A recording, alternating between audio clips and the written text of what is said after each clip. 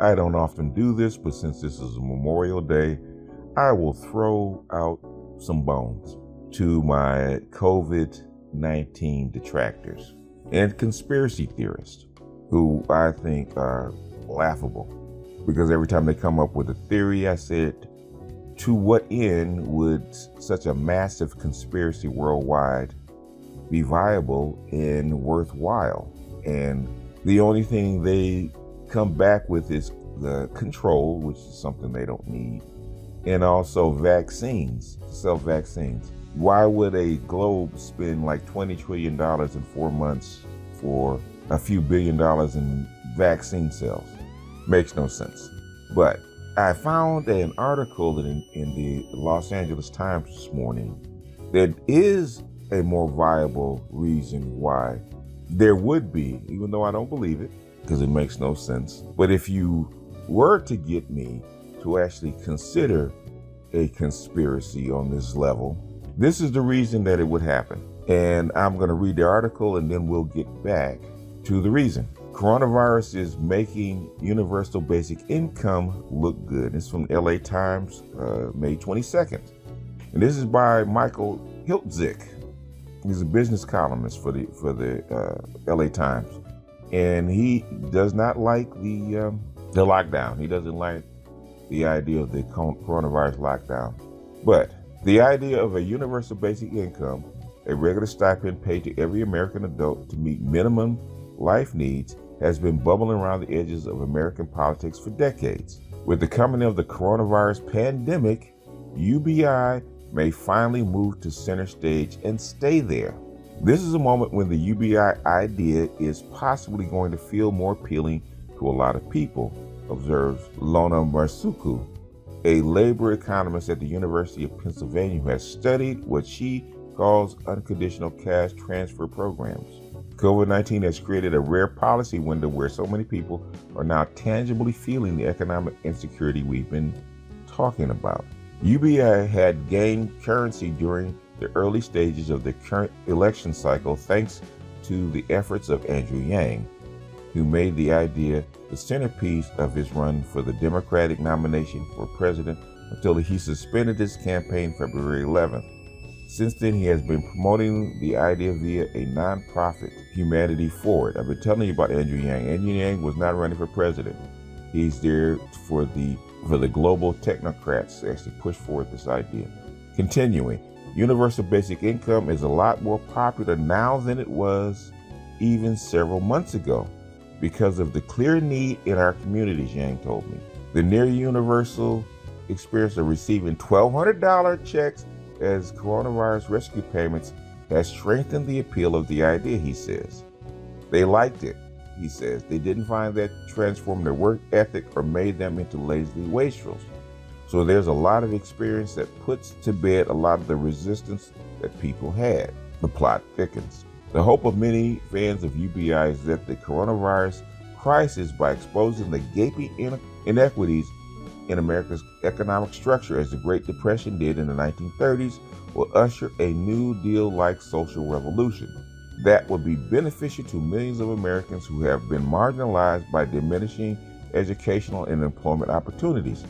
But it's wise to keep in mind that powerful entrenched political interests will strive to keep the present structure in place despite the pandemic. As I've mentioned in the past, the concept of universal basic income has long enthralled political and social thinkers across the ideological spectrum, as diverse as Huey Long, Milton Friedman, Martin Luther King, and Richard Nixon. They're not all interested for the same reasons. Conservatives, such as political scientist Charles Murray, are intrigued by the possibility of replacing existing safety net programs wholesale presumably at lower cost. Progressive wish to use UBI to patch holes in the safety net and the labor market opened by the modern workplace, such as the growth of gig work without guaranteed hours or pay. Definitions of UBI vary. Some involve phase out by income, though typically at higher income levels than existing safety net programs. Some direct the money to specific population segments, such as single mothers, though that makes them not universal at all. and many differ by the amount of income judged to be basic or even whether the payment should be enough for recipients to live on without any other income. The Canonical UBI program will provide at least $12,000 per year per adult, the level advocated by Yang.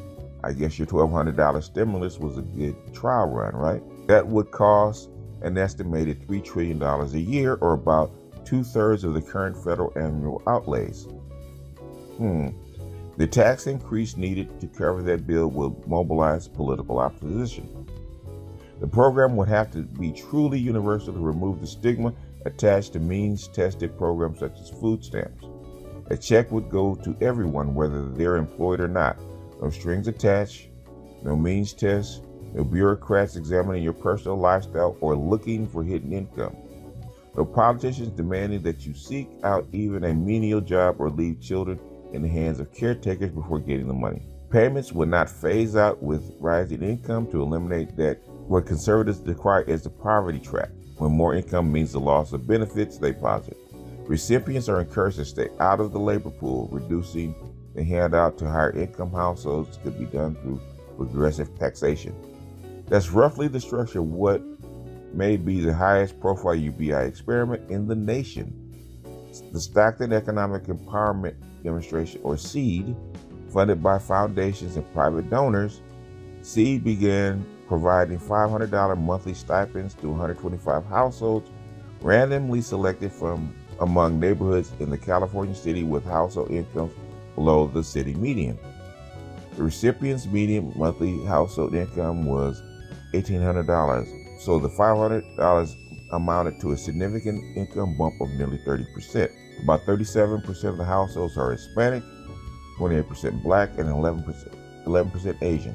Program began in February 2019 and will run until July, though its organizers are trying to raise funds to continue for a further six months. Stockton UBI recipients spent mostly on food, shelter, utilities, and stepped up their food spending in February March to prepare for the coronavirus lockdown. The project helped to explode numerous perceptions about how recipients would spend unconditional windfalls, that they would binge on non essentials or abandon work, for instance.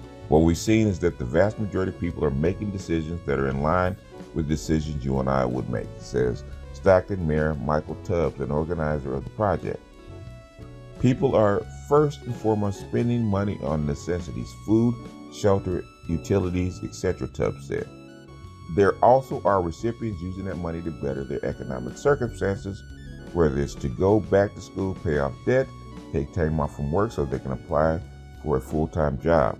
As the pandemic emerged, according to program data, recipients stepped up their purchases of food to 46.5% of total spending in March from 34% a year earlier. That shows how widespread the issue of food insecurity is in our community and society at large, Tubbs says, but also that people are making decisions rooted in how best to provide for their family needs.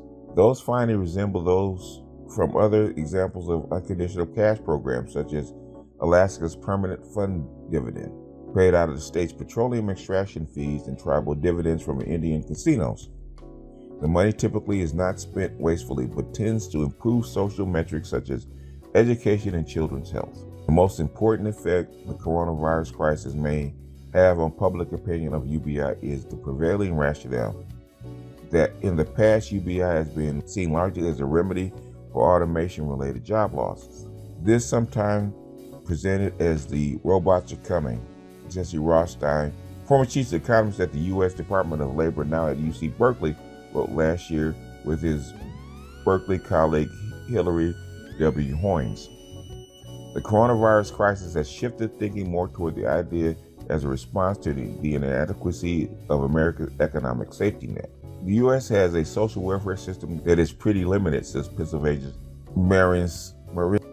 All right, I'll put the rest of the article in the description so you guys can read the rest of the essay. I trust you guys will actually read it instead of asking questions. But basically, this would be the actual ideal reason for a what we call a hoax, if you want to call it a hoax. Dead bodies in mass graves tend to make me believe that this isn't a hoax. But say that you do believe it, say that this all is, is one grand conspiracy that's so big that everybody's involved. This is the only thing that will get everybody involved. Absolutely the only thing that will get everybody involved. Why? Is because if the globe is $300 trillion in debt, and that's a rough estimate, it could be higher, could be a little lower, but it can't be paid. So to settle this once and for all, you would have to go to what they, what they call a universal debt jubilee, a global debt jubilee.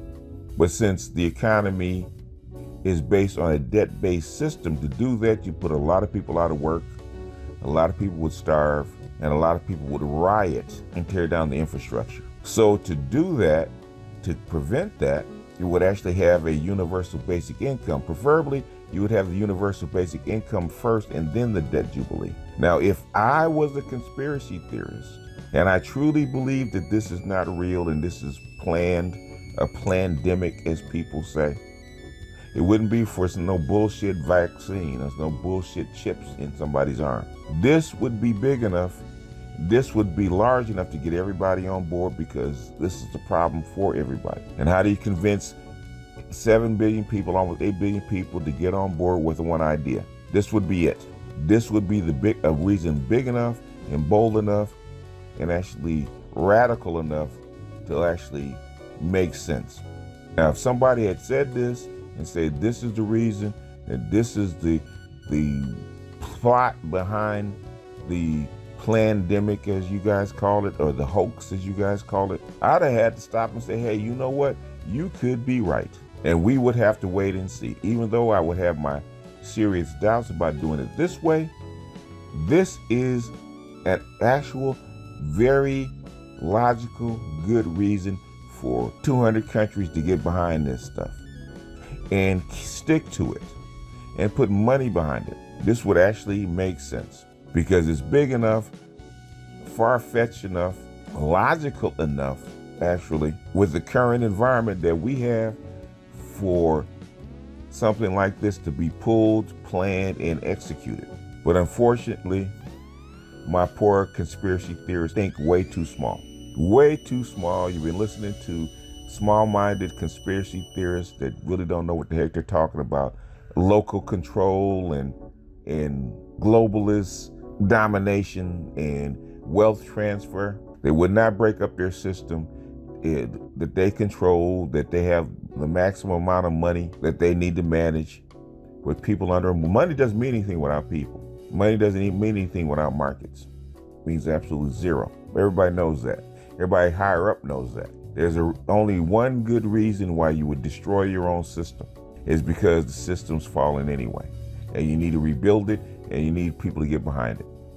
That's the only reason that this could possibly be a hoax, possibly be planned, possibly be a conspiracy.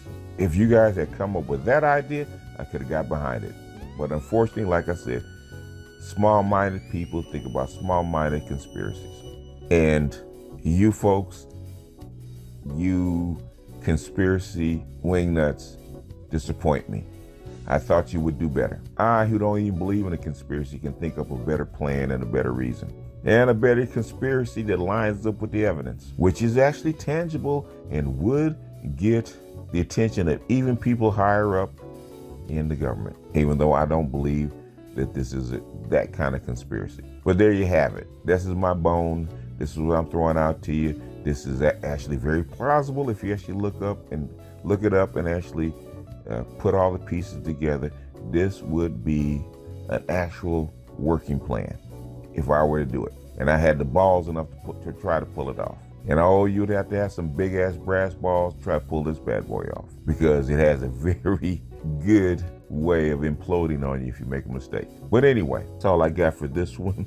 this is this is actually hilarious, but but this is BGS out. I'll see you guys on the next one. Peace.